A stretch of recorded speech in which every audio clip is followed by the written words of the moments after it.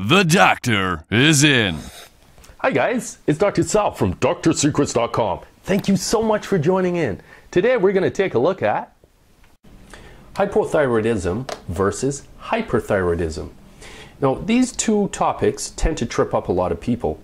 By the end of this discussion, you will understand the difference between hyperthyroidism and hypothyroidism and how they're treated, briefly. So let's start with a tale of two different people. This guy here is Mr. Fatigue. As you can see, he's slumped over his computer. He doesn't even have the energy to get through his day. He's got a big mug of coffee here, but it's not doing much for him. And then we have this other little sprightly thing over here. This is Mrs. Energizer Bunny. And she just can't stop yapping on the phone. She's, she's um, dangling her foot. She's tapping on the table. She's got so much energy she doesn't even know what to do with herself. Now, what is governing the difference between these two people? Is this guy on the left just lazy, and this girl on the right just um, righteous? Well, it actually comes down to, in this case, um, your energy levels are governed by a master hormone called thyroxine. And that gland lives in your neck here, your thyroid gland. It looks like a, a butterfly covering your neck here if you dissect the skin away. And the whole purpose of that gland is to produce thyroxin. The way I look at thyroxin is um, like the choke on a car. If you pull the choke out, you get more gas flowing to the engine and the system revs and you have more uh, power. In the same way, if you have more thyroid hormone circulating through your bloodstream, uh, secreted by this gland, that turns on the cellular structures of all your cells globally over your body. So it's basically delivering a spark or injecting NOS into every every cell in your body. So if you understand that key difference, that will allow you. That's like a master key that then you can understand. Uh, henceforth, the differences between hypothyroidism versus hyperthyroidism. So in hyperthyroidism, which is under this column here with this girl, Mrs. Energy Bunny, and hypothyroidism under this column here with Mr. Sleepyhead. The thyroid um, output is increased in, on this side here and decreased on this side here. All right, now let's look at a little more detail of the differences between these two individuals. Now for Mr. Sleepyhead, his cellular processes are getting slowed down because there's not enough stimulation, not enough spark coming to, to each cell, telling them to, um, to blaze their furnaces up. So he's going to complain of things like no energy, no libido, cold sensitivity. What that basically means is he's in a room with his friends. All of his friends are wearing uh, short sleeve shirts, tank tops, got their shirt off and he's cold, he's freezing, he wants to wear a, uh, a winter jacket. That's cold sensitivity. And again, that's because his body is not producing enough heat because all of the cells globally are, um, are just uh, idling instead of firing up. Then another consequence is weight gain. And the weight gain is again because his cells are not burning up the energy that's pre being presented to them, so they're just stored as fat. Check it in there.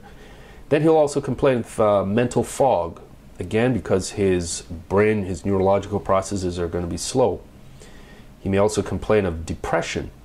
And this is one of the reasons why sometimes when somebody comes to me in clinic um, for the first time saying that they're depressed, I'll insist that they go and get a blood test. And the reason for that is because some of the time, not all cases of depression are uh, software. Sometimes it's actually hardware problems. So one of the things I'll usually check for somebody complaining of depression is, is their thyroid function normal? Otherwise, you may put them on antidepressant when that wasn't the root cause of their problem in the first place. You should have put them on a thyroid uh, treatment. Then they may also notice um, dry skin and dry hair. Uh, typically, I don't usually get people coming in the office complaining of, of these two. But if you ask them specifically, then they'll say, oh, you know what? Yeah, I do have that. And uh, finally, goiter. Goiter in this day and age is not very common to see. I I might have seen it a couple of times throughout my entire career, spanning a decade. Um, the goiter is basically caused because the brain starts sending a signal called a TSH or thyroid stimulating hormone that signal goes down to the thyroid and tell, tries to kick it, telling it, listen, I'm not sensing enough thyroid hormone up here. I want you to start making more. The gland then just gets frustrated because of whatever process is uh, holding it back. It can't, and it bloats. So it forms a swelling in the neck called a goiter. And um, I put menstrual changes here in brackets because obviously my gentleman here is not going to have any menstrual cycles. But if he were a female, he might notice things like um, long, long, um, heavy periods. Now let's go over to Mrs. Energizer Bunny. Now basically, her symptoms are going to be a, a mirror diametric image of his. So she, instead of no energy, she's going to say she has so much energy she can't sleep. Instead of no libido, she's going to be a libertarian. She wants it all the time. And then instead of cold sensitivity, she's going to be hot stuff. Everywhere she goes, she wants to start stripping clothes off because she feels hot all the time and sweats all the time. And one um, one facet of this to be aware of is sometimes it can be tricky in somebody who is menopausal, because in menopause, uh, females will get hot flashes. So sometimes it's hard to tease out which one it is depending on person's age. But say this is a 40 year old female or 30 years old, um, and they're telling me that they're they're hot all the time, sweating all the time. Um, that's going to clue me in that this is probably a thyroid issue, not uh, not not menopausal hot flashes. Then, unlike the guy there that's going to be gaining weight, and uh, a lot of the time that that weight gain is usually somewhere from 20 to spectacular amounts, like 50 and 60 pounds over over um, six months to a year.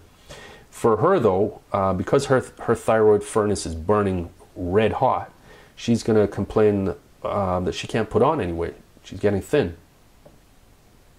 Then mentally, uh, she may complain of uh, anxiety because she just can't turn her thoughts off. They're just racing because of the excessive energy coming to her neurological system. Uh, she may also complain of her heart racing and also tremors of her, of her hands. And the heart racing, again, is because of the hyperdynamic um, um, energy production system going on because of the um, excess thyroid hormone. And then she may also complain of um, light to no periods at all. And these are all consequences of having too little versus too much thyroid hormone. It's just a little tiny chemical, but it has wide reaching, significant consequences.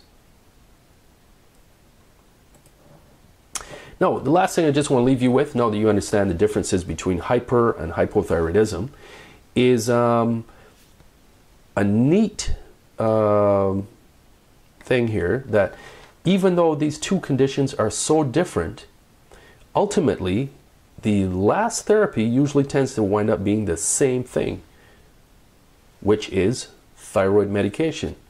So you might ask yourself, well, that doesn't make any sense. How could that be? Well, this picture here is of 137 uh, micrograms of thyroxine, which is thyroid hormone. Now, obviously in the guy with too little um, thyroid hormone, it's obvious why he would need thyroid supplementation. But why would this girl here with excessive and overabundance of cornucopia of um, energy and thyroid hormone, why would she need thyroid hormone too? Well, that boils down, that little uh, mystery boils down to the fact that in a lot of cases, the only way we can eventually regulate the thyroid output in these people with hyperthyroidism is we often will have to kill the gland to stop it from producing so much thyroid hormone. So we'll use, um, in some cases, surg surgery to remove the whole thyroid gland, but most of the time we use radioactive iodine, which gets itself incorporated or lodged into the thyroid gland. The radiation stays there and decimates the thyroid gland and then puts output to zero. So then once output from her is zero, then it's easy for us then to regulate how much thyroid hormone she's going to have be exposed to in her bloodstream by artificially giving her this pill every day to um, give her what she should require. So that's why, even though both these people are in two completely different camps, magically they end up being on the same treatment. so, anyway, that's um, hyperthyroidism and hypothyroidism in a nutshell. Thank you for watching.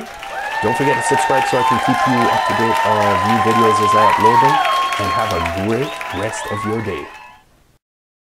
Thanks for watching. Get notified of new videos. Subscribe now.